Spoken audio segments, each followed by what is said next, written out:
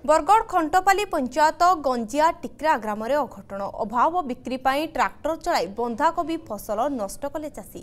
ଗାଁର ଦୁଇ ଜଣ ଚାଷୀ ଏପରି କରିଥିବା ଜଣାପଡ଼ିଛି। ଧାର କରଜ କରି ବନ୍ଧାକୋବି ଚାଷ କରିଥିଲେ ହେଲେ ସଠିକ୍ ପାଉଣା ନ ପାଇବାରୁ ଏହାକୁ ନଷ୍ଟ କରିଦେଇଛି ଚାଷୀ। ଫଳରେ ଲକ୍ଷାଧିକ ଟଙ୍କାର ଫସଲ ନଷ୍ଟ ହୋଇଛି।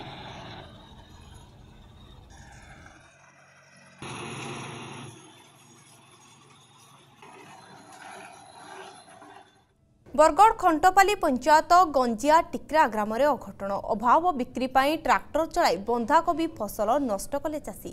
ଗାଁର ଦୁଇ ଜଣ ଚାଷୀ ଏପରି କରିଥିବା ଜଣାପଡ଼ିଛି।